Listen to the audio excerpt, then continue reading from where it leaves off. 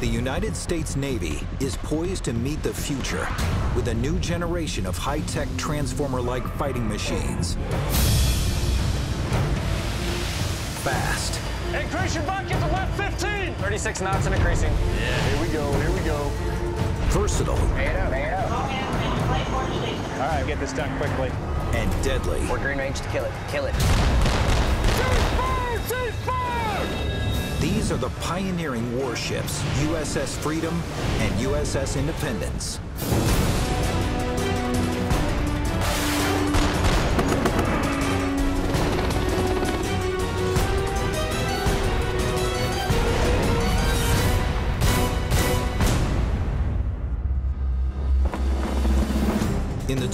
Century, the U.S. Navy must deal with a new wave of violent threats. The world has changed since the end of the Cold War in the early 1990s when we were focused mainly on an open ocean war with our aircraft carrier battle groups, cruisers, and destroyers.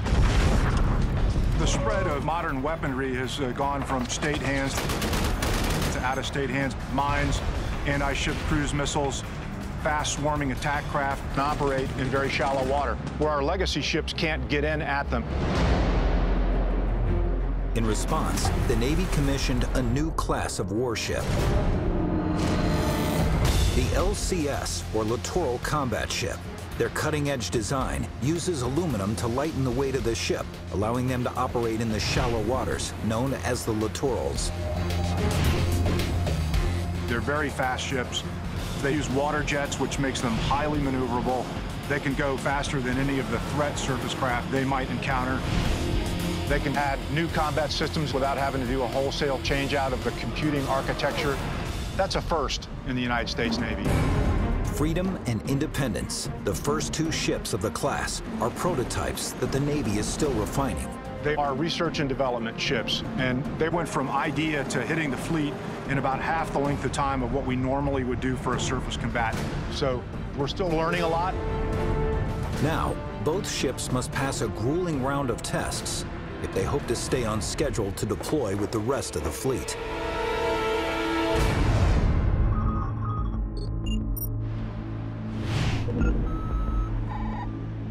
In Southern California, crews install one of three interchangeable combat systems on Freedom.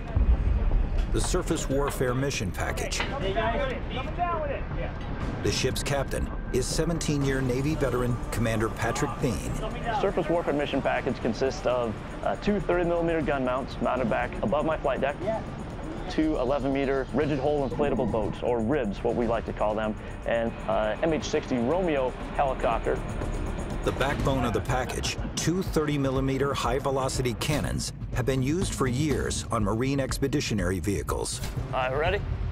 Now Thien hopes to prove that the guns can work just as well on an LCS ship. Overall objective for this underway is test our combat system against a variety of threats. So it's going to be fun. We're going to test the combat system all the way out.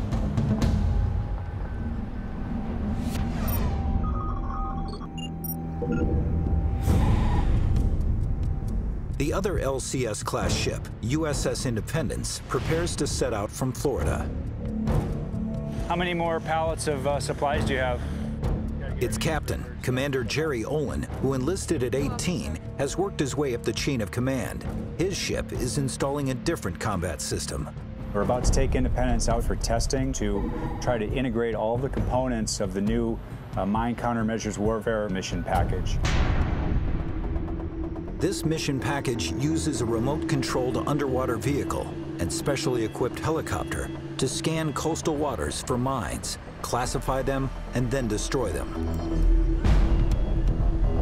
Much of this equipment is still unproven, so civilian experts will ride along on both ships. I've got representatives on board from a multitude of program offices that own different components, several uh, naval uh, engineering centers,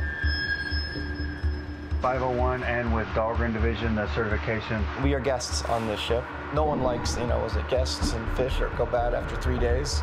So we have to be very cognizant. We are here not because we have a right to be, but because they allow us to be. Three things right now that I'm looking at for Killer Tomato. Right. They're here to make sure the systems are, number one, operating at design, and number two, if there's some ways we can improve them. These two captains will take their civilian and Navy crews out to sea and put their new combat systems to the test. These prototypes must accomplish their missions before they can be used in the real world. Everything that we're doing now is a stepping stone. I want to take the ship out and want to go deploy. We need to be out there and doing things for the fleet, but also I know that we are testing everything out for the follow-on ships of the class. There's some things that we just have to get done. So if we get things right here, and I'll say when we get things right here, right, we're setting not just us up for success, we are setting the next set of crews up for success because we're setting the future of the Navy right now, right here, okay?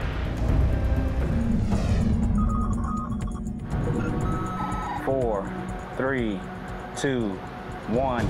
Mark. Mark time. One zero. You ready to start GTM, sir? Yes. Start number one and number two GTM. On USS Independence, Commander Olin fires up his engines. Shift from manual control to program control. And prepares to get the 127 meter long ship out to sea. Okay, heave around. All right, man. Line six on deck. Underway. Underway. Shift colors.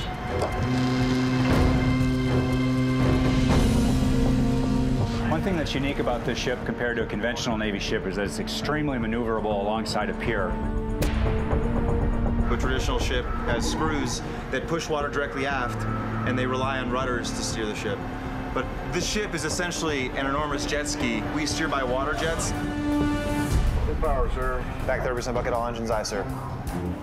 Because we have water jets, we're able to manipulate the configuration back aft to walk the ship sideways from port to starboard.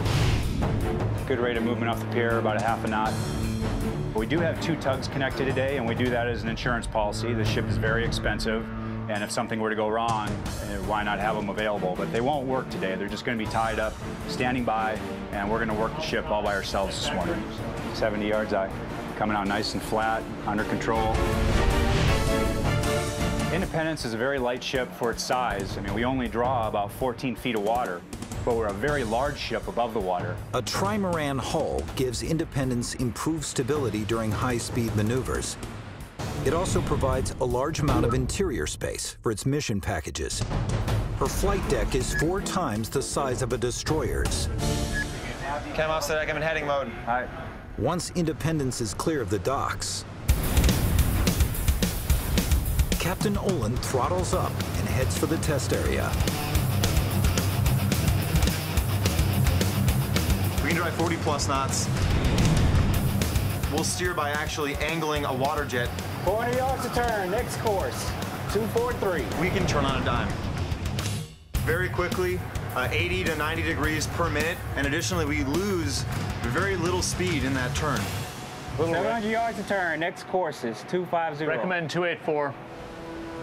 USS Independence is one of the fastest Navy ships on the water, but its sister ship is even faster.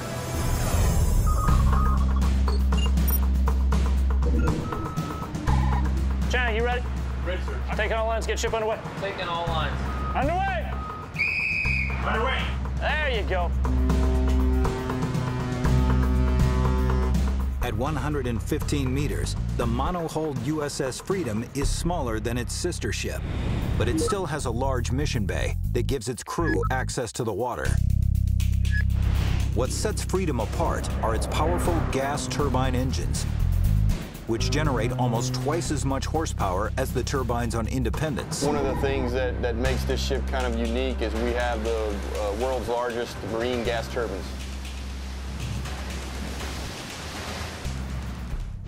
You know what I want to do? Got to blow the carbon out, sir. Sounds good to me.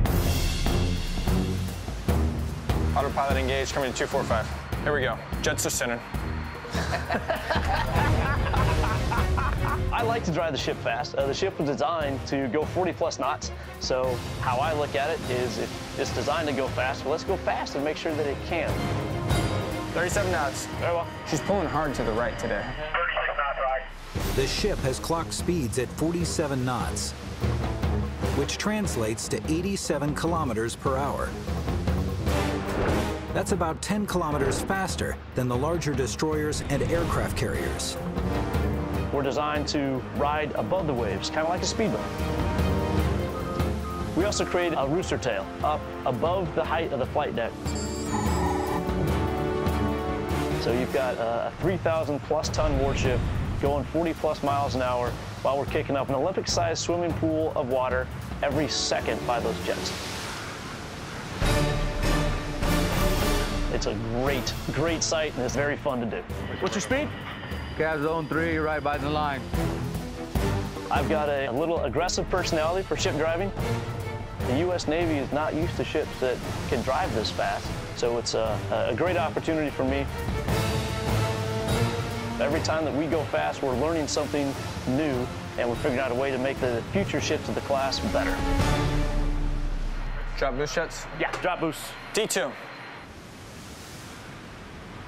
Now, Freedom must make its way north to the Point Mugu Sea Test Range, just west of Los Angeles, where in the morning, the real mission work will begin.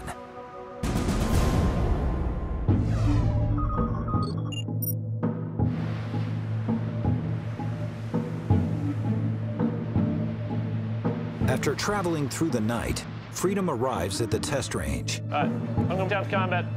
Commander Patrick Thien starts his day below deck in the Mission Control Center as the first test of the 30 millimeter cannons begins. TY, Captain TO, weapons buster one set, Mount 301.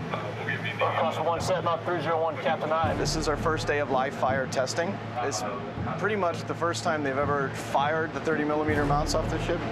We're collecting a lot of data to make sure that they do everything that the Navy said they were supposed to do. So if we complete this testing, then the Navy will say this system is safe and effective.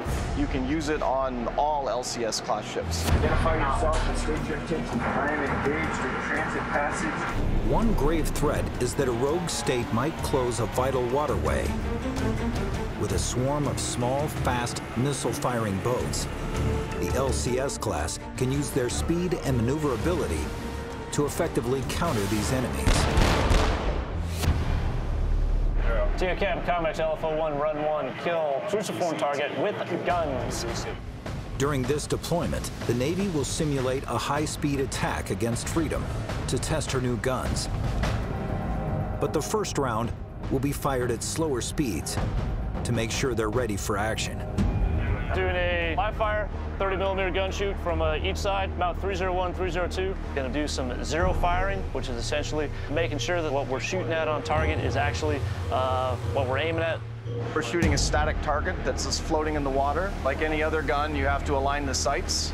This one is the same way. While the bridge crew will have a visual on the exercise. You guys drive from up there, just keep it on that spot.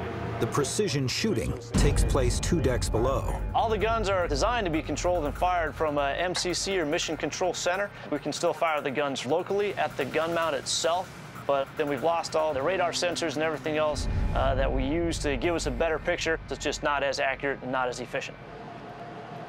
DSO guns, weapon buster one set. 301's ready. Take firing bearing 009 or 1,000 yards. Clear to fire, weapons free. I'm getting excited. Shortly before 0700 hours, the crew's ready to take their first shot.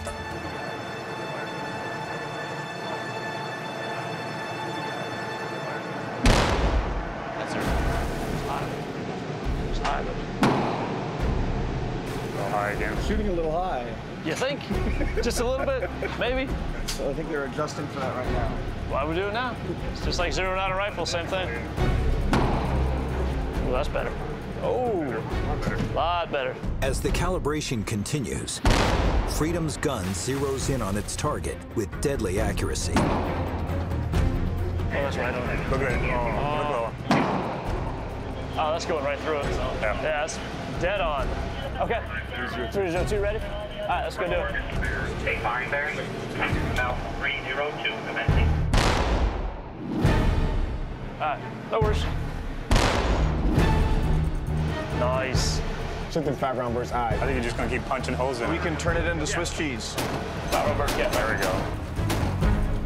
In an actual combat situation, these automatic cannons would be able to take out a small boat two kilometers away. That's what I'm talking about. Right there. That thing is Swiss cheese.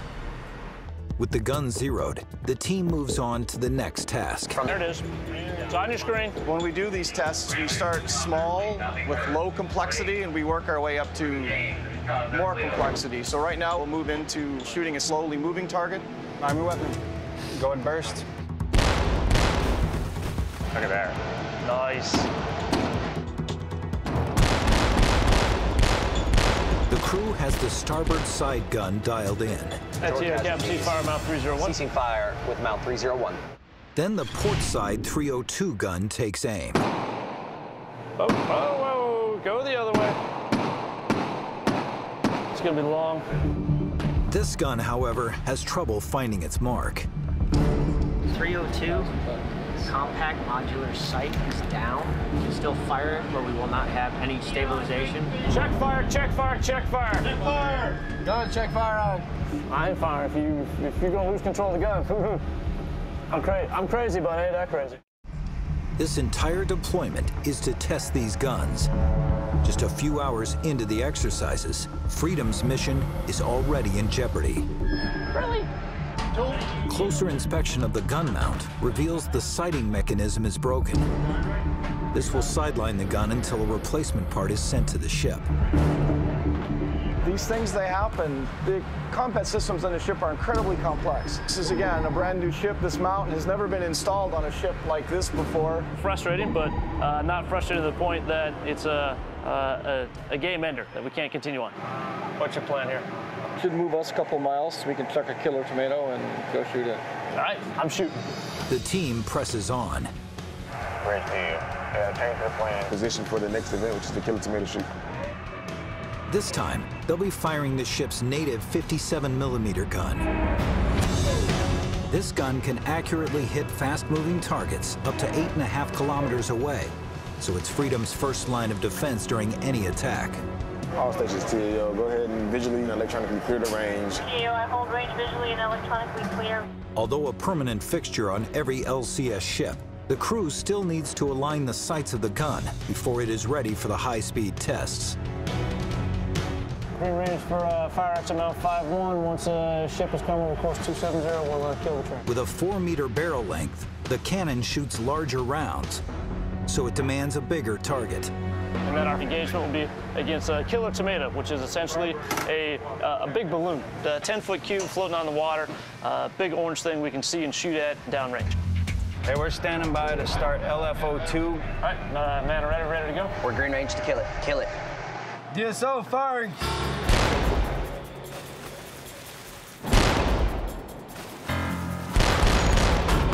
Oh, busy shooting. Man's gotta shoot. Uh-huh. Know that. The gun is hitting its mark, but the killer tomato is a resilient target. They're designed to be able to take a lot of ammunition, take a lot of hits, because otherwise we'd have to just keep continually putting them out there and putting them out there, and putting them out there. All right, all stations, Captain. Ceasefire, mount 5-1. So Thien stops the exercise. Rounds right on target. 57 millimeter gun is working like a champ. But Captain Thien's crew still has some work to do. Bridge captain, close the enemy killer tomato to 150 yards on the beam. They'll go find the dang killer tomato and shoot it. The killer tomato must be cleared off the range. Working sinking. Twisting to port. We're gonna shoot off our port side. Commander Thien gives his crew some practice on the ship's 50 caliber gun. Roger. Hey, FPA, give me a little headway, too. I will kill the dang thing here in about two minutes. Come on now. Let's do it. Hey, who's got comms with the uh, gun mount? 502, Captain. Are you man ready? Uh, yes, sir. We're still waiting on the ammunition. Really? I'm gonna go to my corner and count to three. Until they don't hurry up, the damn thing's gonna sink anyways. Ranger ready. Man ready, aye. Outstanding. All right.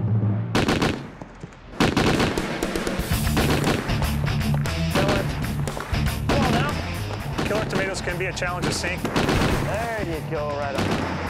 You get one hole in. That hole gets covered with water, it fills with water, and now you got a big air pocket. So then you gotta shoot that air pocket. There you go. Get on target and kill it. Come on now.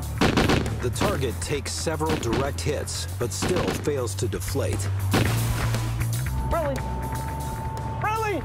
It's going down. I know it's going down, Slowly. but it ain't going down fast enough. With crew pride on the line, We're changing gear over to the XO so you shoot. XO Dale Heinken takes over the gun.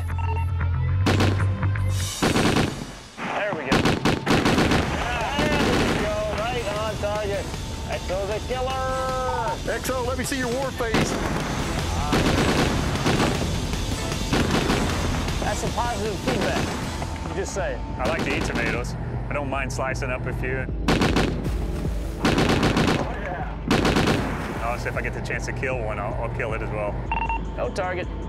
Davy Jones. Anytime you get to shoot the guns, it's a lot of fun.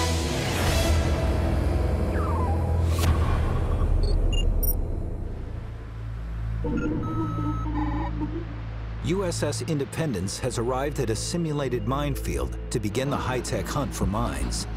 How long's it been raining? I'm getting a little bit of mist, really no, no rain.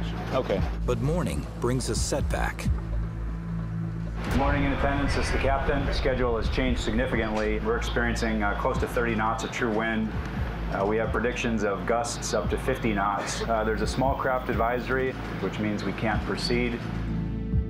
While Independence is more than capable of handling rough seas, the small civilian support craft monitoring the testing are beached.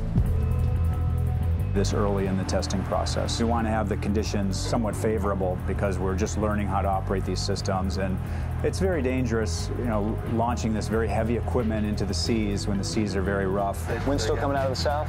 Yes, sir. It's from the south at 20 knots. All right, so we're going to be rolling around pretty good. To make matters worse, the ship's trimaran hull may be fast, but its shallow draft can make for a rough ride. Yeah, we're going to be rolling all over the place for the next hour. When we get to the 10 mile mark from shore, uh, we want to turn around and put the seas to our stern, then try to get a good northwest southeast run. Uh, and that'll give us a little bit better ride while we wait this thing out. But uh, the closer we stay to the coast, you know, the less fetch there is on the seas, and uh, the easier our ride will be. So we'll just kind of go back and forth in that range. Okay.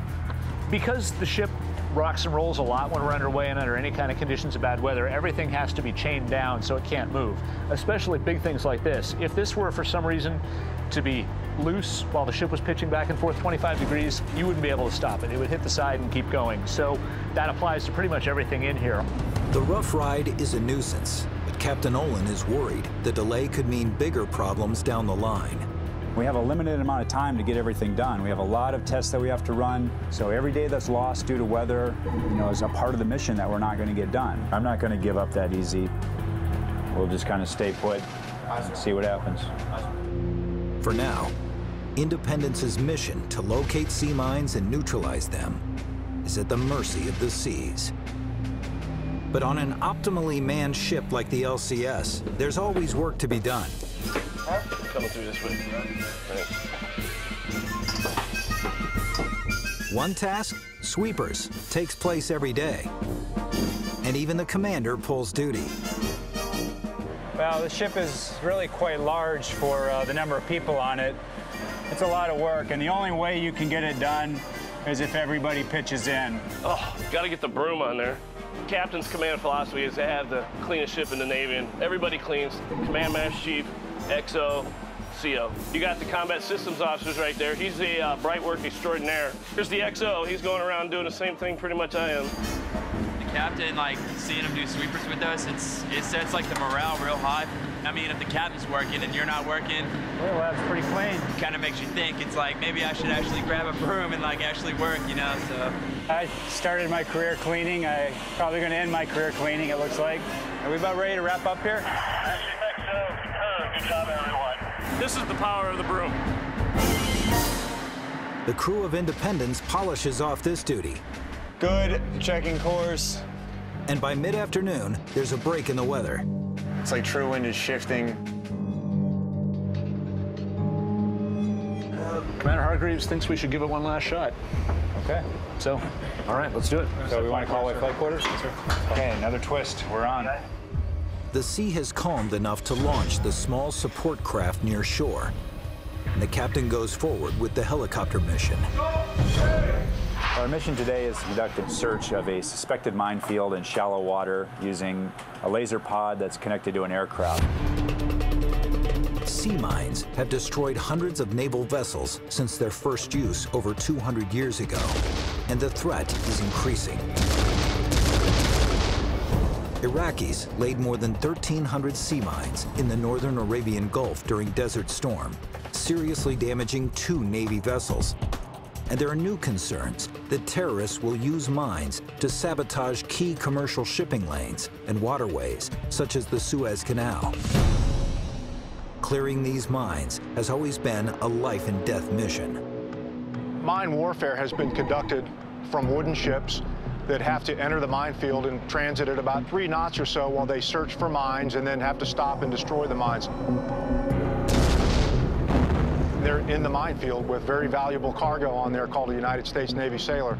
The littoral combat ship allows us to be outside of the minefield to locate and neutralize mines with no danger to the sailors. They do this using a helicopter and a remotely operated semi-submersible to carry out a three-phase process detect, identify, and engage. Coming up!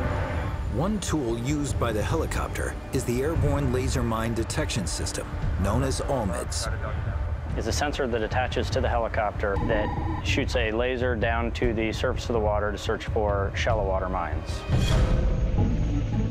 Mounted on a Seahawk helicopter, ALMIDS uses pulsed laser light to rapidly image large volumes of water to detect floating and near-surface mines. From the standpoint of the overall mission, it's the first step. If we can get the shallow water cleared, we know that the water is safe for the RMMV and the other sensors to go in. 10-year Navy veteran Lieutenant Rory Kipper oversees flight operations on the ship. We're just uh, moving the helicopter out now from the hangar. We have personnel walking beside it, making sure that uh, it, it's not going to slip, and we have a guy sitting inside riding the brakes for, for safety. The $25 million MH-60S Seahawk is a proven Navy asset. Its hinged tail and folding blades reduce its footprint aboard ships. Once we get out onto the spot, we can unfold the tail, unfold the uh, main rotor blades, and prepare it for flight. Navy pilots fly the ALMIDS missions, but civilian specialists install it, since the technology is still being tested. Release the straps. All right, slowly raise the weapon. Up, up. The ALMIDS is housed in a 370 kilogram pod attached to the helicopter and controlled from the cockpit. Once the pod is ready to launch, Captain Olin and his Navy crew resume control of the mission. Call away flight quarters and let's uh, get the ship into the seas. So turn into the seas and uh, slow to about eight knots. Flight quarters, flight quarters. All hands man your flight quarter stations. All personnel not involved in flight quarters stay clear of the weather decks at the frame 50. Covers about to be warm topside now. With its crew of 40 stretched to the limit, team members must perform multiple jobs. All right, GSM-1 Duarte, ET-1 Hill, HMC Morris, GM-1 Ryan, CS-1 Neristan. All right, everyone, don your Mark 1s, your cranials, stand by outside for FOD walk down. Before they can launch, the crew assembles for a crucial task to clear the deck of foreign object debris, or FOD. All right, FOD walk down. Hey, let's walk the FOD. Culinary specialist Tanika Naristant was in the galley prepping lunch when flight quarters was called. Hey, spread it out. Here on board this ship, we wear many hats. I'm in the galley. I refuel. I'm a medical first responder, stand watch on crew serve weapons. I'm on the fire party, and there's a few other jobs that I know I have that I'm not naming off right now. You're good? Okay. Yeah, all right. We do get sleep, but uh, sometimes it's not much. Amber deck. Amber deck. This is the uh, helo control tower. This up here is the uh, helicopter control officer, or HCO. So they're doing uh, engine startup and rotor engagement. It's actually one of the more dangerous times because until the rotors get fully engaged, they can droop and flop around a bit. The uh, guy down there in yellow on the flight deck is the landing safety enlisted. He's the only person in direct contact with the pilots on the flight deck. Turbo Jim, green deck. Green deck.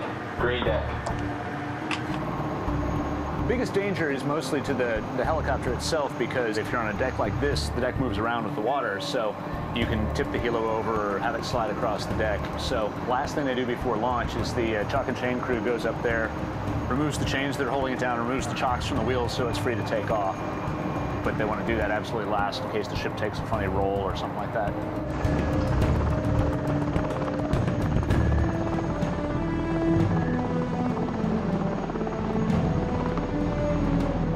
Helicopter heads out to scan the minefield.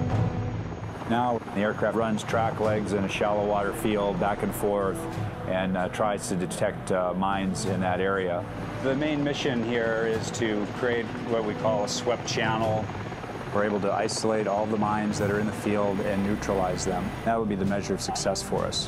While the Navy has tested each component of the Mine Countermeasures mission package separately, this is the first time they will use them all together. Mine warfare is hard, and we're always in a constant battle to be able to counter those threats. Red deck. Red deck. So everyone here is rooting for the success of the mission package because we think it's a great capability. They realize this helicopter run must go off without a hitch for Independence to have any chance of completing its mission. On the range. After a two-hour search mission, the helicopter returns to Independence. The aircraft went out to uh, the suspected minefield, uh, conducted its search, uh, brought the data back to the ship. We downloaded the data from the pod, and they're now conducting uh, data analysis on the ship. Lead tactician Tracy Nye works with the Navy crew to analyze the intel they've gathered. This room is the command and control for mine warfare. The screens are all classified. The data that comes back, it's processed, and we very carefully look for these contacts that we want to prosecute in the follow-on missions. You know where I live. We're still waiting on the actual truth data to come back, but we expect that uh, we did detect the mines out there that, that uh, we were intended to search for, and we achieved all of our mission objectives. Our next step would be to reconfigure the helo from non-toe to toe configuration. We're going to do that today? That's a big job. I think we're going to start it today. Yeah. With the ALMDS run completed, they turn their attention to the next phase. Searching for mines further below the surface. By helicopter, the flight crew will lower a sonar device into the water and tow it. After ALMDS missions are successfully completed and the uh, surface of the water space is safe for our towed sensors to be put in, we configure the aircraft from a base H-60 helicopter to one that is capable to tow a Q-20 sonar system, uh, which we have here uh, sitting on the deck. We tow it behind the helicopter using a reeling winch. But the helicopter will only do a fraction of this search. The bulk of the work will be done by the cornerstone of the mission package, a semi-submersible called the RMMV. This is a diesel-powered RMMV remote mine hunting system. That includes this black vehicle here and this sonar down here. That's an AQS-20. Still an early prototype, it's launched from the back of the ship and uses the same sonar device as the helicopter, but can last 18 hours before refueling a big advantage over doing it from the air. What RMMV brings to the table is endurance, really is the workhorse. When the sun goes down, ship lighting is switched to red to keep the ship's profile to a minimum. As civilians check the readiness of the vehicle, Lieutenant Commander Lance Ruth makes sure his men are ready for the challenges ahead. Port. Stand at ease. Anybody have any concerns, anything that's come up over the last couple of days? It's better that we discover the problems now than discover them tomorrow. LPOs, you got anything to put out, chiefs? Because this is all developmental testing, it is kind of a science project. It's about proof of concept. It's about taking the idea and making it a reality. The idea is to actually put the vehicle out and leave it out overnight and then recover in the morning. There will be some long days involved, so get your rest when you can get it. The mission will actually go for about 18, 20 hours. So this is something that will, will in a way, uh, mature us to know what to expect and how to handle it. Because once we're operational and we got a whole minefield that we got to clear, it's going to be a lot worse. Years of development and millions of dollars are on the line when testing resumes in the morning. We're all geared toward success. Nobody out here wants to fail.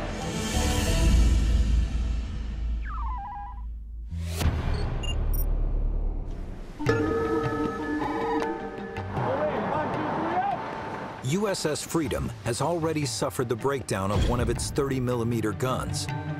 But the other gun mount is still working. So the crew moves on to the next big test. Captain on the bridge. We're going to be going against remote-controlled boats. They're going to be heading at the ship about 30 plus knots. This is really kind of the graduate level exercise that we're doing today. This is Warship 1. Nothing high-speed operations. All vessels requested stand clear of my wake. Uh, very challenging. Swarm attack is what we call it. We're a hostile nation. We're trying to overwhelm our defenses. Green light, MBA, green light. Bridge eye, all stations, uh, whoever sees the visual on these guys first, call it out. And Dorna can see them. Dorna 067, 8 miles. There we go. Tracking Dorna eye, 067, 8 miles. The ship's sensors have picked up five remote-controlled boats approaching from several kilometers out and not yet visible to the naked eye. Swing back around.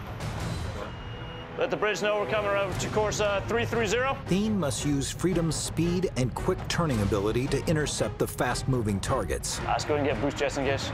Boost jets engaged. Uh, T6 or 20 knots, sir. Very well. What's the range? 13,000 yards, sir. Zero well. one. Captain, got him visually. Say it. Got him visually right Oh. here. About two points out the port bow. What's their speed? 39 knots. 9,000 yards of closing. Five boats are racing towards Freedom at 55 kilometers per hour. When the Freedom deploys in the near future, every decision the commander makes in a situation like this could mean the difference between life and death. Option deck, left full, 340. Jets are left, 30 degrees. Coming to 340. Right, let's get up to speed and run with these guys. Yeah, here we go, here we go. This is where we make our money, Chief. I want to see this thing drive. It's gonna go fast. It's going fast. It's awesome. Very well. There they are, right there. Got him. Range. Range 5,000 yards. All right. All right, let's go. Here we go. Jets are centered. We're at 32 and increasing.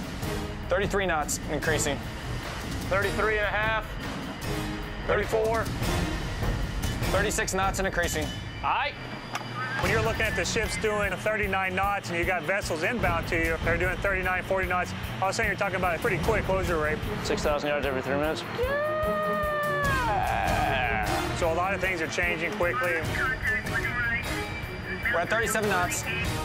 Let them know we're starting to uh, cut across them.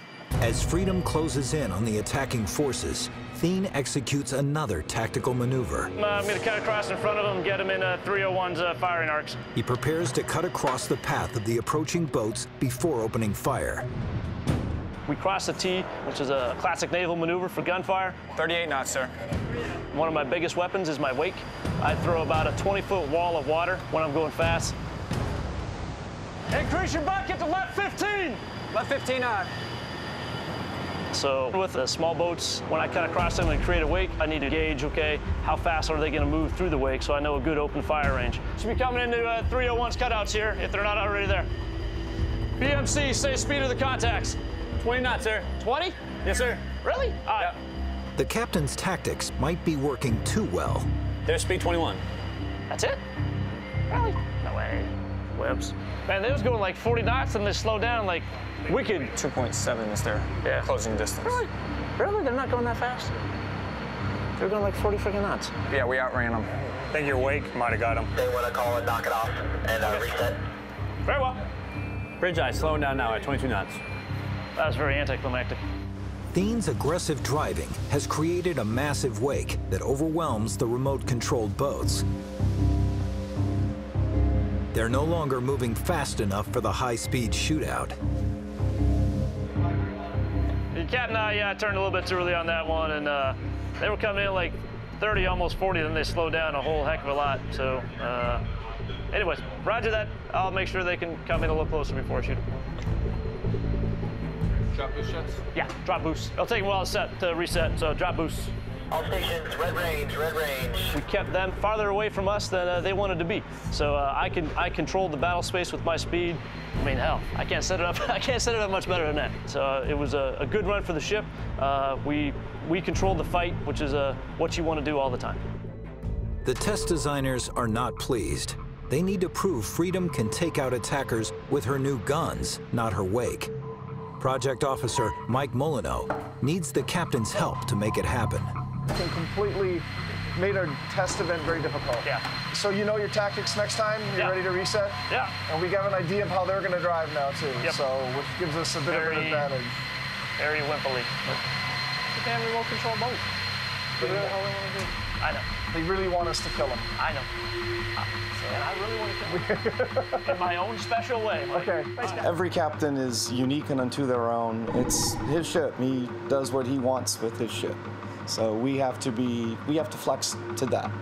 The new gun has yet to fire a shot at the fast-moving targets. Captain Thien will have one more try to prove it can get the job done. Cutting across them, we weren't going that fast when we cut across them. So it wasn't that bad, but it wasn't that bad.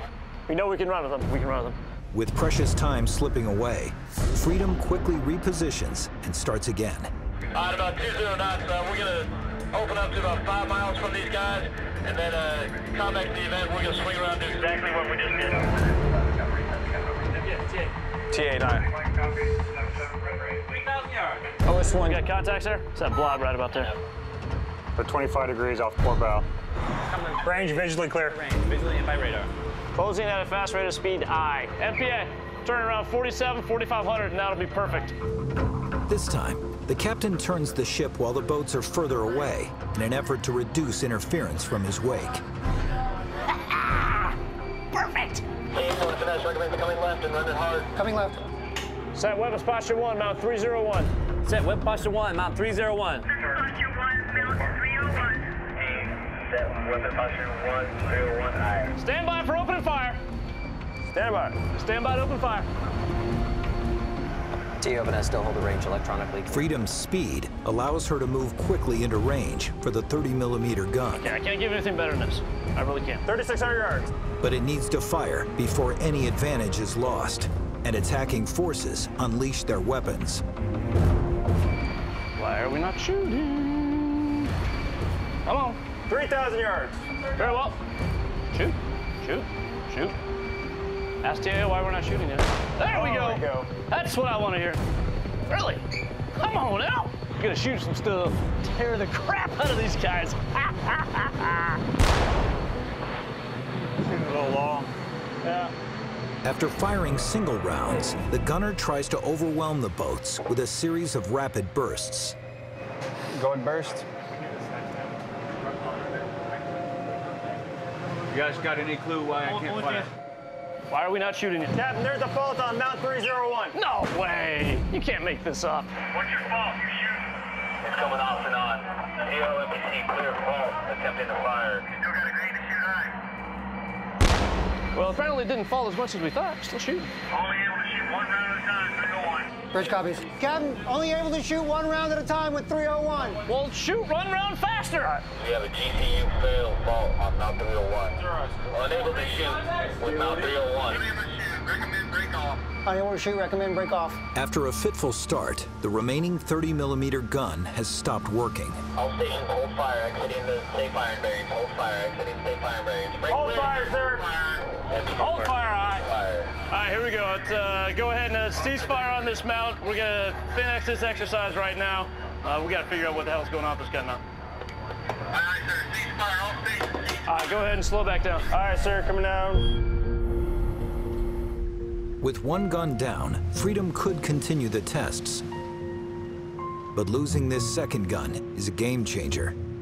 If technicians can't quickly fix the problem, they may have to pull the plug on the entire mission. It's believed to be one of the safeties built into the gun, maybe giving us problems. We know that if we fire the gun when the ship is traveling at bare steerage, three knots, we do not see this fault.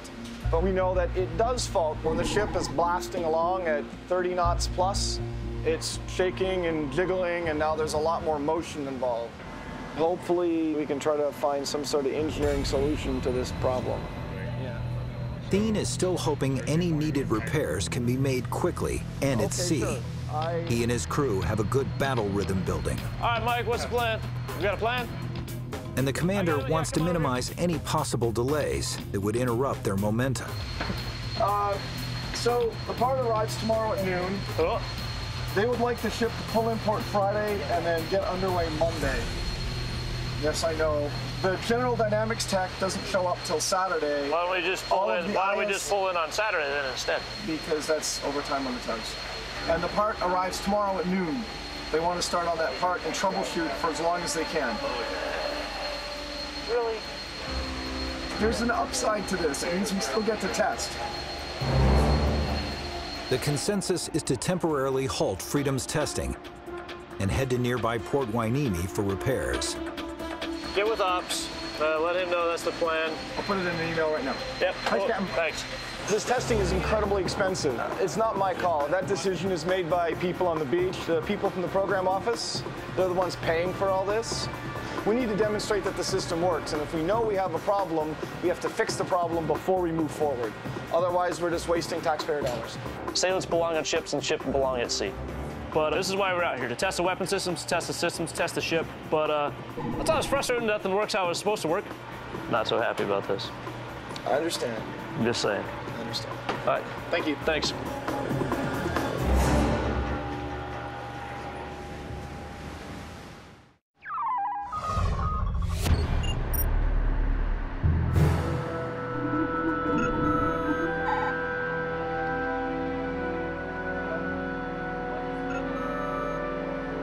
After searching for shallow water mines by air, USS Independence's search now switches to deeper waters. I don't know. I think the seas look favorable.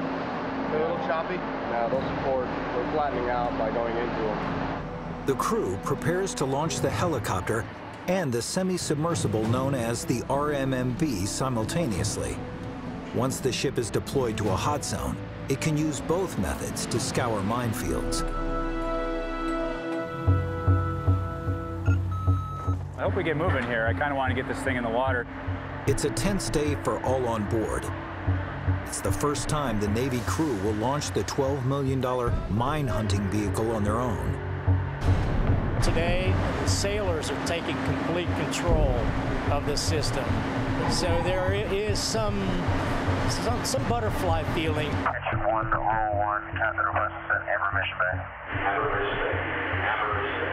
They just got Amber Mission Bay, which means that the ship is stable on a course and speed, and we're not pitching and rolling all that much, so that the vehicle can actually be launched.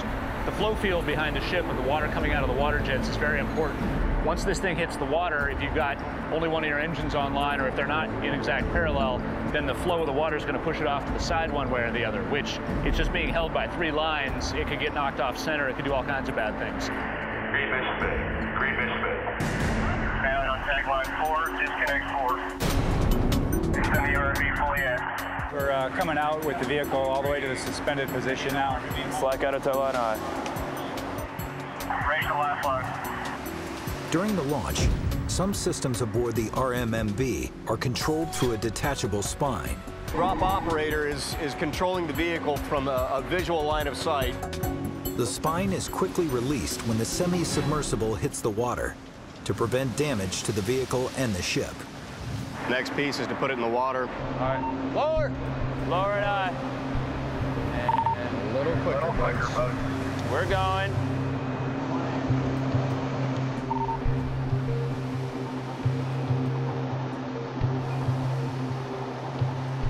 Down.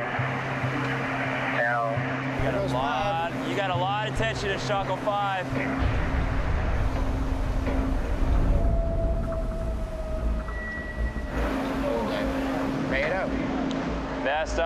Eye. What happened? We're having a hard time releasing the captain's spine.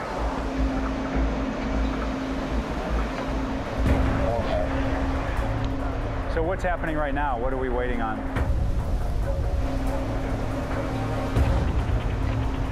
I just want to be sure we're moving along here because time is important. Come up. Come up. Capture spine release. All right. It's good. Success. The capture spine retracts into the mission bay, and the RMMV is off to search for mines. Tell that released. But the crew has no time to celebrate the successful launch. All right, gentlemen, we gotta go to flight quarter. The ship is at flight quarters. All no traffic garbage off station. With the RMMV away, the crew scrambles to get the helicopter launched on its tow mission. The idea now is that uh, we launch a helicopter to conduct similar operations in a separate area. So we have basically tandem operations from the, the surface as well as from the air. This crew is working in a simulated minefield, but sea mines remain a persistent global threat. The Navy is hoping these tools will be a safe and reliable means to quickly clear suspected danger areas. Captain's on the bridge. Coming right, course 310. With the search for mines underway, Concur 344. Make 341. Captain Olin is free to maneuver the Independence away from the area. It's one thing that's really unique about mine hunting with LCS. You used to really have to uh, put the crew in a lot of danger to try to find them. Uh, with LCS, we don't do that. We keep the ship safe and we send uh, unmanned vehicles in to do it for us.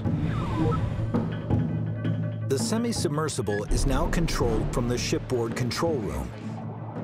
The sonar device, which is attached to the vehicle, is deployed and then towed at variable depths in order to hunt and identify mine threats.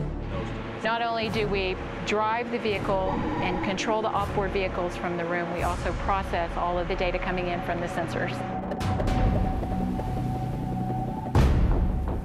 While the RMMV searches the minefield, the helicopter simultaneously launches its own sonar. Equipped with a 580-meter tow line, the aviation crew can sweep a different area. It goes down into whatever uh, depth volume you're searching, and it just runs racetracks back and forth, looking uh, for mine-like objects. While the helicopter will make several short runs, the RMMV will keep running well into the night. But six hours into its mission, it's in trouble. So what do you got? Uh, sir, the operator noticed that there was a drop in hydraulic pressure. Then they looked at the fluid level, and it was about a liter below. The sonar's been retrieved. It's bellied up to the vehicle. The team has identified a problem that could render the semi-submersible dead in the water. We had a report with the remote mine hunting vehicle that it had a low hydraulic level on one of its uh, systems. If the RMMV loses too much hydraulic pressure, its mechanical systems will fail, and it will be impossible to maneuver the vehicle back onto the ship. To recover now is basically just giving us an opportunity to get it on board, as opposed to uh, saying it's uh, it's the end of the mission. Let's uh, man the launch handling and recovery detail. Launch handling and recovery detail. Man the launch handling and recovery detail. We don't want to take any chances, so just to be safe, we're going to go ahead and recover the vehicle. With civilian and Navy personnel on edge, Independence carefully aligns itself with the approaching RMMV. As the vehicle nears, the captain gets an urgent call from the ship's chief engineer about a new problem, this time on board the ship.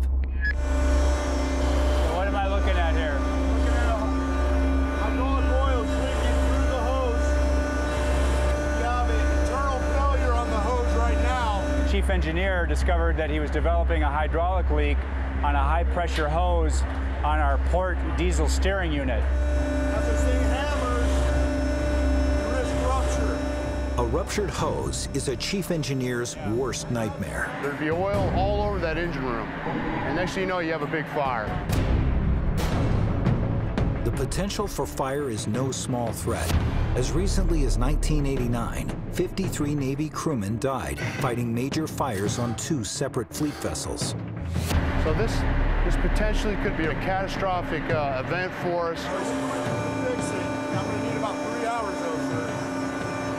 I've got to get this vehicle back on board, so should I continue with the recovery and then fix this? Maybe I need to get the vehicle on board, stop everything so you can fix this.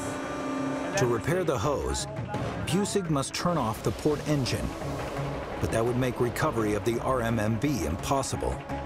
I have to keep both diesel engines running when I launch and recover the mine hunting vehicle because you have to have a really smooth fluid flow behind the ship so you don't disrupt the vehicle as it drives really close in behind the ship. Can I hold out for an hour? He's gonna hold out for an hour, but okay. I can't guarantee you, sir. It's on the hammers. It's already got a leak in it. Olin must now balance the safety of his ship and crew against his desire to keep the mission moving forward. We need to do an expedited recovery. I need to get that thing on board very okay. quickly. Put okay. a normal, uh, fully qualified operator on the ROP. I need to get this thing moving. We're gonna go. All right, do we have a visual on this thing back here? Olin gambles that he can bring the RMMV on board before the hose bursts, risking a serious engine fire If that hose ruptures, I'm going to lose 150 gallons of hydraulic oil in the space. A lot of oil is pretty dangerous, but I can't conduct the mission without that engine running. So we're going to run the port engine, but we're going to keep the water jet center line. That way there's no hydraulic hammer on that hose. And we're going to steer with the starboard engine only, long enough to get the RMMV back on the ship. Yeah. Hope we can get it on board here quickly. In the engine room, Chief Engineer Busick wraps the damaged hose to try to contain the spread of oil, should it rupture under the continued pressure of the engines. Well, that's good. If it ruptures, at least it'll deflect it and keep it from going everywhere. Evaluator package, we are lowering the capture spine now. It's steady right now, but we're still in extremis. In the mission bay, readings indicate the RMMV's hydraulic pressure is reaching critically low levels. If its onboard engine fails, could drift helplessly away from the ship. Captain, right now it's at 0.65. If it reaches 0.5, then the vehicle automatically shuts itself down. Okay. All right, well, we need to get this done quickly. All right, Captain. All right. We just got to get the mast into the trap. A Navy crewman manning the tow lines and a crane precisely guides the capture spine into position to latch onto the mast. Go get him, cowboy. Go get him. An extremely tricky maneuver when traveling in varying sea conditions. We're close here. Yeah. Uh, the front line came out. It's like threading a needle. The oil level just dropped. We're getting really close now. We don't have enough hydraulics to get that mass down. We can't bring it in. It's still redlining right now? Now. Uh.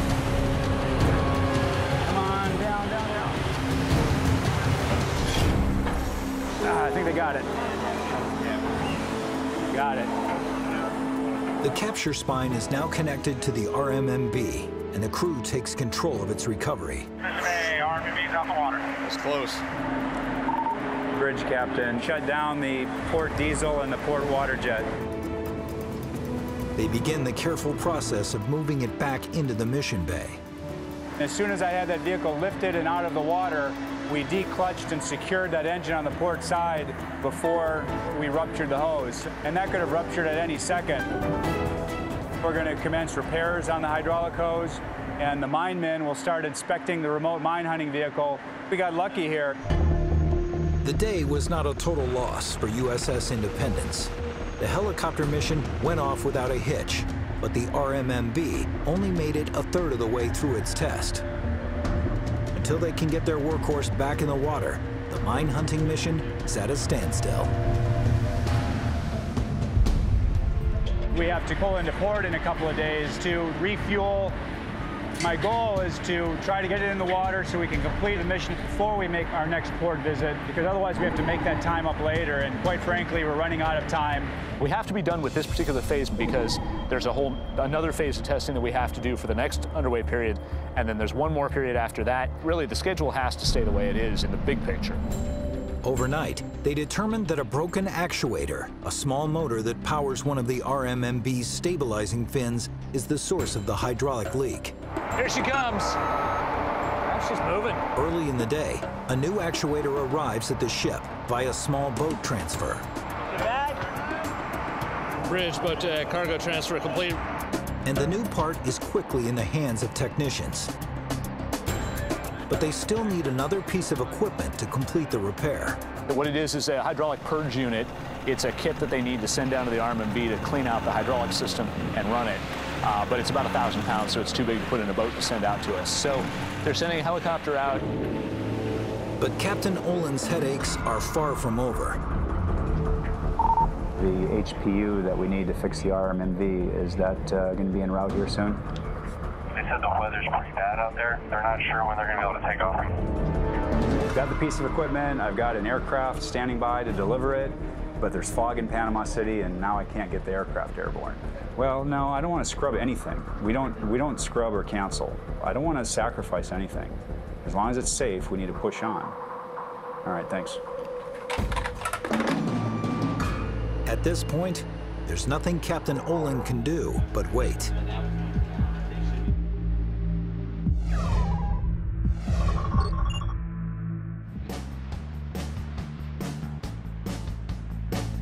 Uh, usually when we can get an hour or two in the schedule, we try to run a, a no-notice drill. All right, I'm en route to medical. Make it a safe route. I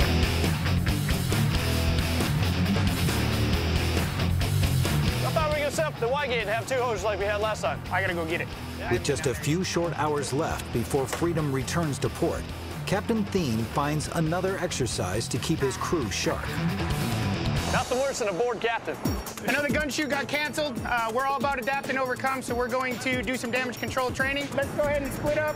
CMC, if you could be the first plugman, man up the hoses. He orders his crew to man the hoses for a fire drill. Water on. Right over the side. Fire! Down low, there you go.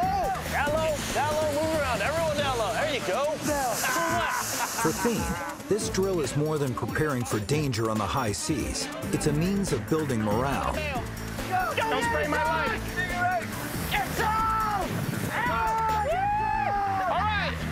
The, the captain's energy is, is pretty much, it's infectious, I would say. Uh, definitely, um, that energy kind of feeds us and kind of keeps us going. Every crew uh, reflects the personality of the commanding officer. Uh, his energy uh, resonates in all of us, uh, and it's, it's just, it's a fun place to be. Fight the fire! Don't straight, you go down angle. Don't straight. Keep fighting as you're doing it. Keep fighting. Keep fighting. I love training. It's freaking awesome. Spirits are high as Freedom arrives at Port Hueneme, a naval base 100 kilometers northwest of Los Angeles. The ship will dock here for two days to make repairs to the gun mounts, and the captain doesn't want his crew to lose their edge. Don't let yourselves get out of the groove we're in and the tactical mindset. When we get back underway on Monday, it's going to be an hour transit to on the range and putting rounds down range. Okay? We need to be ready for that ASAP. We are here to fix weapons so we can go out and shoot and kill things. Okay? So everybody needs to keep that in your brains. Freedom's crew must wait out the weekend before they know if they can return to the firing range to complete their mission. There's always a, a time crunch. Uh, there's some risk to accomplishing our mission all the way, but right now we can't complete the mission without the guns being fixed.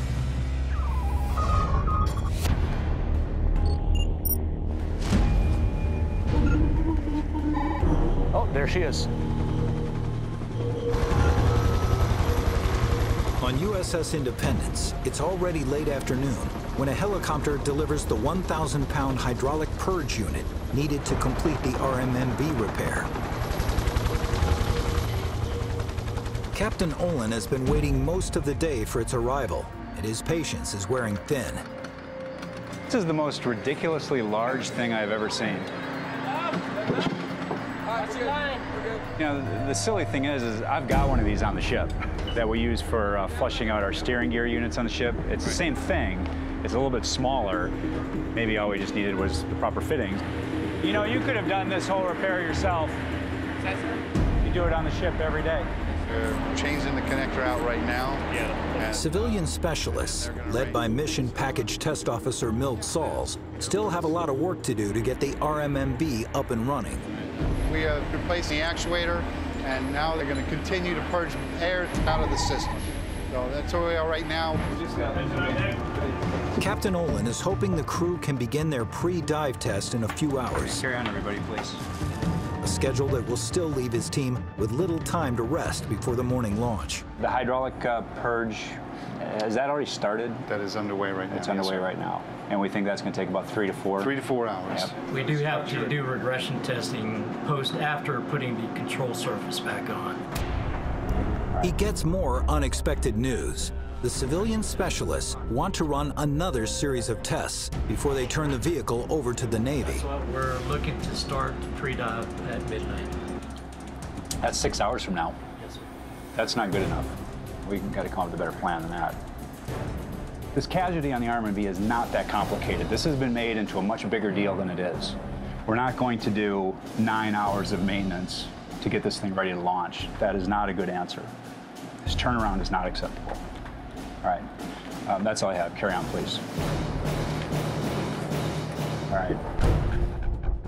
I choke Frank for throwing a wrench at the end of the meeting, and it was unnecessary. So I think that the captain, that when he was told about some kind of integrity test, that he got the impression that it was going to be extended, and that's not the case. So these maintenance times continue to grow and grow and grow, and now we're saying we need nine hours to prepare this. Right. That is not acceptable. You can turn around an F-18 on the flight deck of an aircraft carrier in less time than that. Right. I've seen it.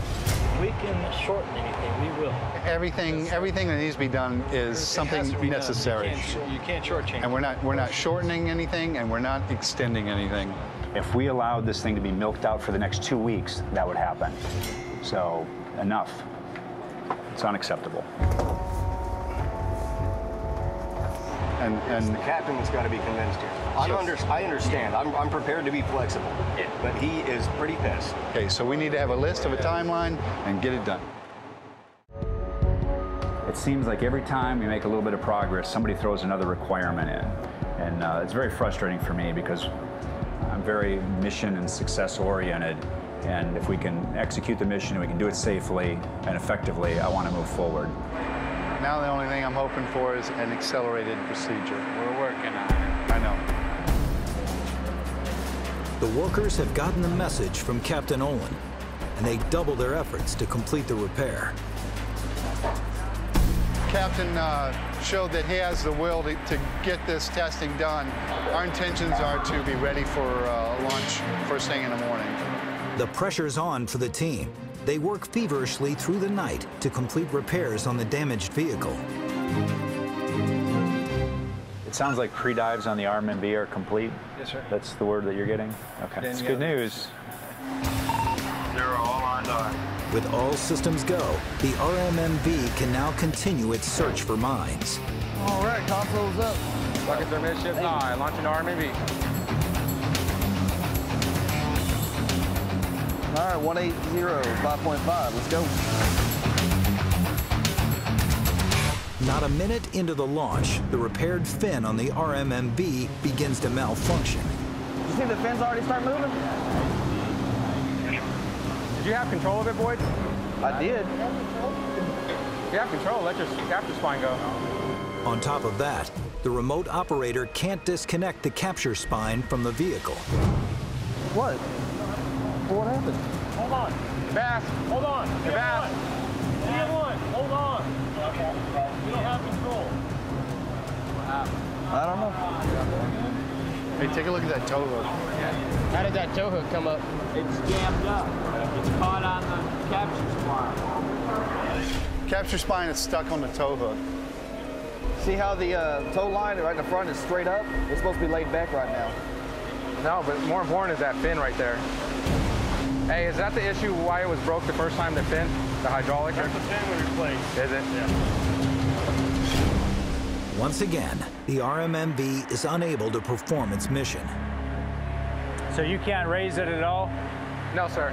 Not only is the stabilizing fin malfunctioning again, this time there's a problem with the tow hook used to retrieve the vehicle. It should not be in an up position.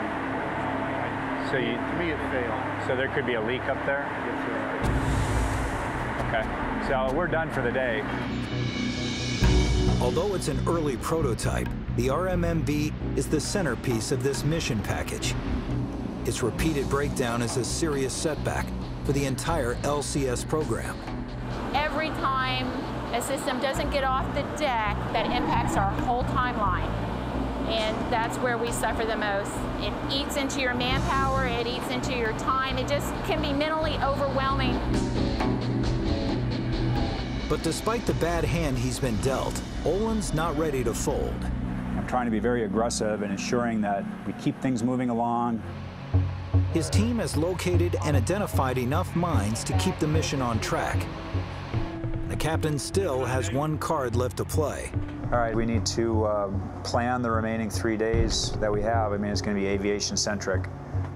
We'll plan the next mission over the, the calls that we got from the RMV mission that we ran. They decide to move forward to the third stage of the detect to engage scenario. Ready? It's finally time to let the Airborne Mine Neutralization System, known as AMNS, take out the identified mines. The ship's helicopter will carry the AMNS and lower it into the water. The pod releases neutralizers known as archer fish, which swim up to the mines and detonate. This is a way to be able to separate ourselves from that minefield and maintain a safe distance and keep our sailors safe. Back off. The mine does explode. We're, we're in the air, we're not in the water. OS1 Macomb should be giving you a bearing to the ship.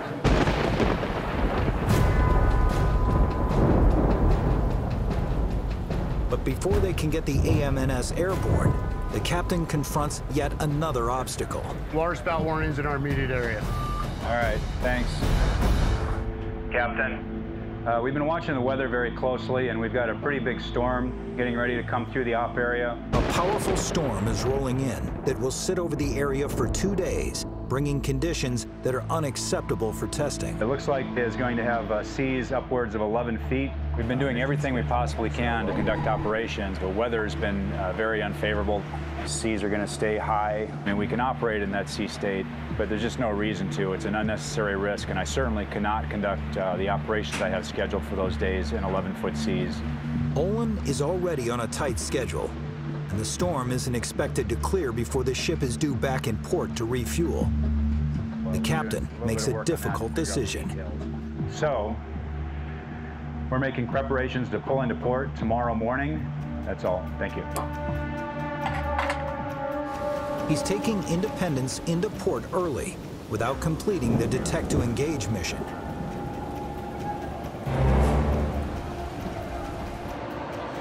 It's a disappointing turn of events after so much hard work. So Olin gathers his team one more time to see if they can somehow salvage the mission. Attention on deck. Hey, everybody, stand at ease, please. The mission team needs to figure out how do we capitalize on the remaining hours that we have, and that's what we've got. All right. We, we do have the option, sir. This is way outside of the box, but we can launch pier side. I'm okay with launching a mission from the ship on Monday if uh, I get clearance from uh, base ops to do it. I have no problem doing that at all. Would you see any problem with that, ops? You. Lieutenant Kipper comes up with another option. Instead of at sea, he suggests conducting the final phase of the mission from port. You just got to work it with uh, base ops. You- are you happy? I'm happy, yes, now I'm happy. All right. When you're in testing, you have to come up with lots of workarounds. Nothing goes as planned. The initial plan just gives you some practice on how to replan. That's about all it does for you. Will do, sir. All right. Thank you. We say Semper Gumby, always flexible. We're trying really hard to continue with our mission, even though the ship is coming into port due to weather. So we're going to keep working uh, tactically as though we were at sea on Monday. Uh, the only difference is we're going to be tied up next to the pier for that one day. There's Aiden Hazard, our buoys three and four off the bow. As they pull into port, the team is upbeat that they can finally complete their mission. But as the entire Independence crew has learned the hard way, there are no guarantees that they can pull this off.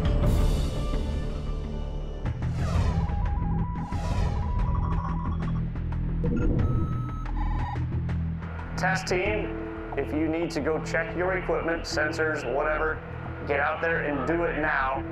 USS Freedom remains docked in Port Hueneme as civilian specialists wrap up repairs on her two 30-millimeter gun mounts. The end is in sight. There's light at the end of the tunnel. After two days on dry land, the captain and crew are itching to return to the firing range to finish testing. Just tell me what's going on. 30 millimeter guns. Compact modular sight on Mount 302 is installed. All right, sounds good. Ready to shoot? Ready to shoot, sir. Guns up, ready for fire, right? Let's go, sir. We'll do it. Oh, thanks, boss. The repairs are completed on USS Freedom's broken 30 millimeter guns. Osterdeck, how we coming? And it's time to head out. All right, MPA, let's get some headway and get the heck out of here. I need to go fast in about two minutes. Captain Thien makes quick work of getting back to sea. Freedom prepares for a major exercise using all her guns and a helicopter to prove she can counter an attack by high-speed targets. Attention on deck. Carry on. He gathers his command team to make sure they're ready to go. Holy crap, finally getting to shoot the dang guns. Outstanding.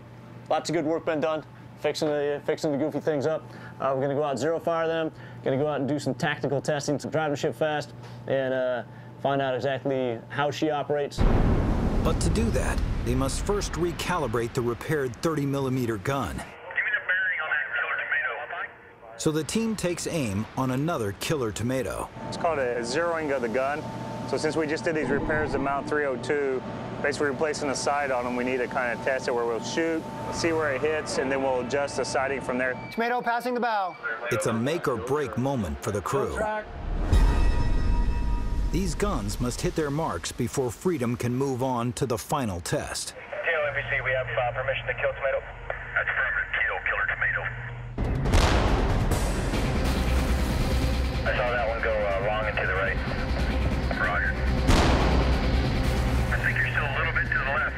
I think maybe a, maybe a little high too. I'm not sure.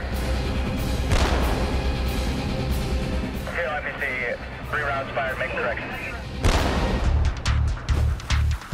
Looked like it was right on target. Two seven zero right.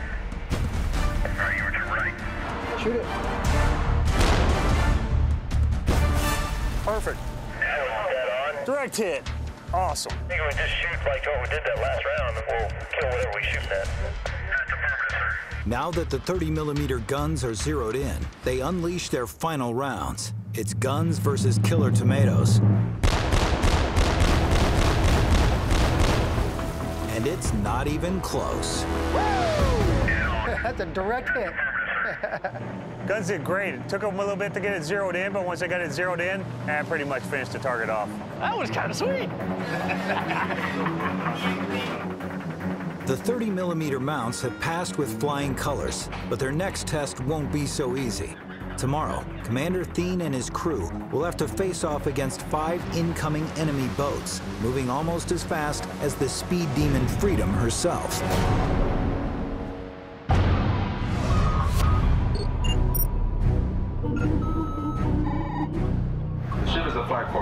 USS Independence has returned to port after a powerful storm interrupted her mine hunting mission.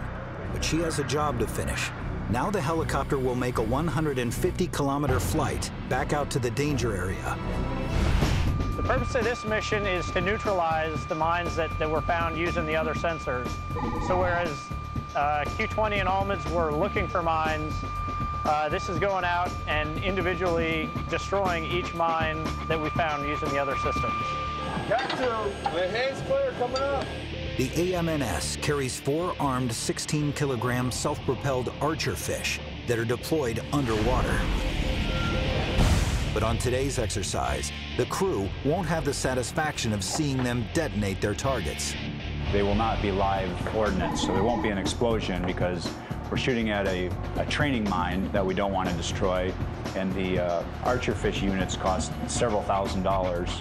There's no shape charge in the nose of these destructors, so we just touch the mine um, with the destructor and we've completed that sequence. For the entire crew of USS Independence, it's a pivotal moment, the culmination of all their difficult work. This is a proof of concept, uh, shows that detect to engage sequence works at least notionally, can be conducted from the ship with the personnel on board, uh, and is a real big check in the box for the uh, objectives of this test. Amber deck. Amber deck. If they can pull this mission off, their testing cycle will be a success. Failure could mean costly delays for the LCS program.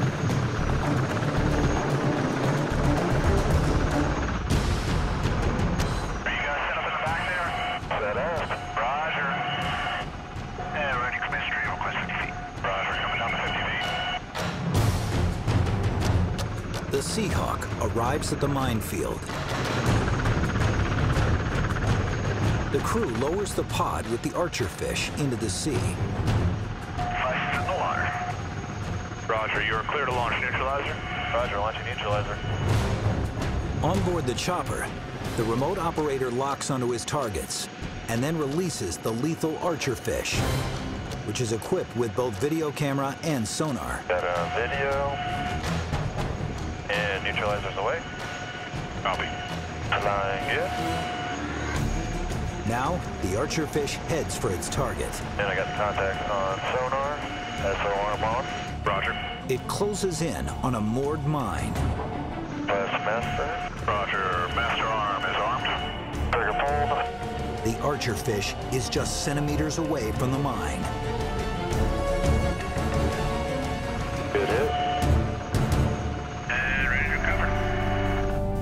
Recover. Fish is dead on, accomplishing what everyone on the Independence was hoping for.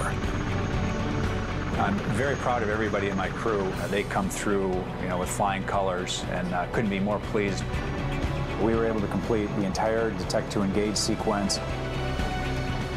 It's Captain, you have green deck. Green deck. Green deck.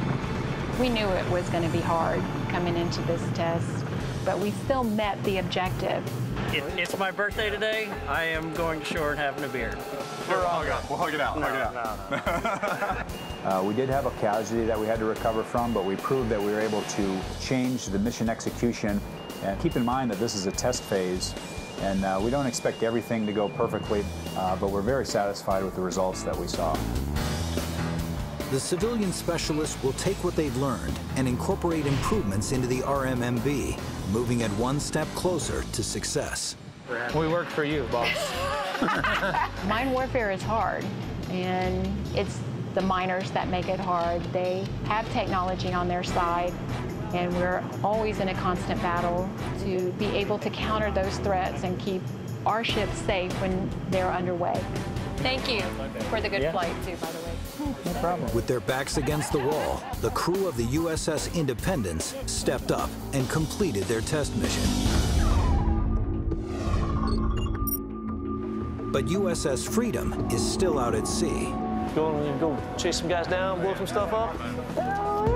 and her crew still has something to prove. In a few hours, Freedom will face off against five eight meter long remote controlled boats that will close in on the ship at 40 knots. LF-04 against the small boats. Hell yeah, let's go tear those things up. All right, uh, we're ready. Questions, comments, difficulties? We got Captain. Let's nice, nice, break. Let's go and kill them damn things. The stakes have never been higher. The crew has not fired their guns at speed. If they falter on this final test, it will be a major setback for all on board. Every time we get out, we have to show improvement. Otherwise, there's no point. If we're going backwards, no one likes to go backwards. Flight quarters, flight quarters. Designated personnel man at flight quarter station. All hands not involved. Flight quarters stand clear after frame 56. This is the grand finale, graduation exercise from this testing. This is what we came out here to do. This is going to be challenging. We're going to get to employ some tactics, all within this one engagement until all the boats are destroyed. We're ready to go. The helicopter will provide location and speed of the inbound contacts and relay target information back to the ship. In today's mission, our role is to launch the helo, detect the small boat targets, track them for the ship, and then get out of the way so the ship can engage with their weapons. Captain NPC, set weapons posture 2, Mount 301, 302. All right, I'm going on combat. Captain's off the bridge on the way to combat. The captain heads to the mission control center as the conflict draws near. Freedom has a lot on her plate. Today's the big game day. We have the ship fixed. Ship goes fast now. We have guns that are working and some good range coordination. Make sure those targets are out there and we'll tear them up.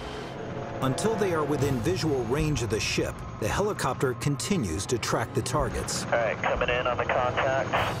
All instruments are looking good. Coming out. It transmits the coordinates back to mission control. This is it. First uh, set of boats coming in.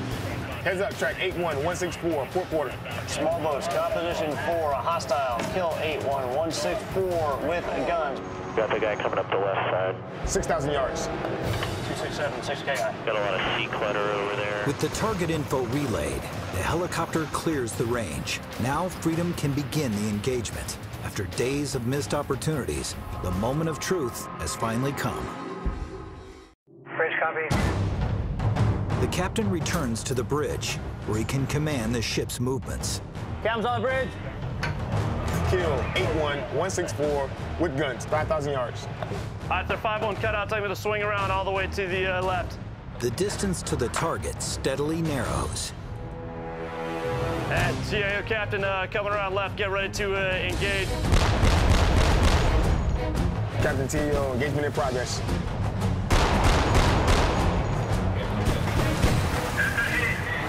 Still moving. 2,200.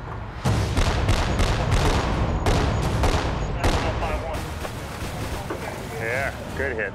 Oh, that one's done. Look at that. One target is destroyed, but four more are closing in. Farmost left contact, dead in the water. Shift targets. Come right, 210. Shifting fires. Captain Thien must take them out before they get dangerously close to the ship. Increase your rudder to right full. Right full. My rudder is right full. Nice. Direct hits. COW. Shift and fire. Second target destroyed. Shift fire to the next target. Shift fire. Threats on the uh, port beam. My bridge, threat right now on the port beam. Get ready to uh, engage with 5-1 coming from the uh, port side as I swing around. The captain turns freedom quickly as the targets move around the ship. One minute they're on one side, next minute on the other side, so you got to be able to react quickly. Shifting background versus eyes. 1,800. Nice. Continue coming right. All right, continue right. Got to hit that time. Get in the water. Nice shot. Direct hit. Shift fire to the next two. Shift fire. As the final two enemy targets approach the ship, Freedom's weapons take deadly aim. Ah.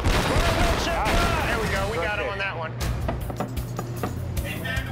Get in the water. Nice That's what. I'm talking about. Now, Freedom is down to one target. Right full rudder. Right full, rudder right. Rudder is right full. He's still moving. Keep firing. Keep firing. Oh, knock the Oh, mannequin that's down. good.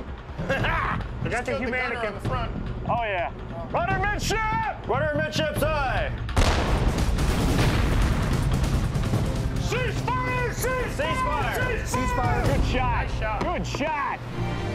It's an impressive display of firepower. Each target is destroyed. TO MPC, all contacts, dead in the water. One of the first times we've had the opportunity to combine everything, the ship's speed, and then also firing all the weapons. We've gone fast before, we've shot the guns before, but we haven't combined the two of them together. Uh, just to wrap things up for what we have accomplished today, five inbound targets, five mission kills, five mobility kills, five for five, 100% accuracy. Uh, we killed the enemy, and we killed the enemy with a vengeance. So good job on to uh, everybody. Mission was a complete success. Destroyed all five, left a few of them smoking, a few of them burning, and but all of them were a mission kill. For first of class ships like Freedom and Independence, it's never an easy road. But during these missions, they were able to overcome serious obstacles and complete their tests, moving the entire LCS program one step closer to deployment with the rest of the fleet. Five months after these exercises, Independence successfully launched and recovered the RMMV after incorporating changes to its design. More LCS ships are on order as Freedom and Independence continue to work out the kinks with their mission packages. We've learned a lot of lessons from the first two ships of the class. We've implemented those lessons learned into the follow-on ship designs. The programmer record is to eventually have 55 of these ships operating in the fleet. The LCS program is going to grow significantly in the next couple of years, and the types of missions that they're performing, possibilities are endless. The next sailors that will follow in our footsteps, they'll be able to have an easier time because they wouldn't have to go through all these trials that we're going through. I want to take the ship out and want to go deploy. If we're part of the fleet, we need to be out there and doing things for the fleet.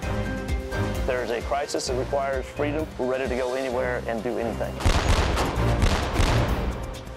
I'm very proud of what these ships and the sailors that man them have been able to achieve. I'm very proud of the defense contractors and government civilian employees that have taken us through all of these various stages of testing, and I look forward to great things from these ships as they enter the fleet in numbers.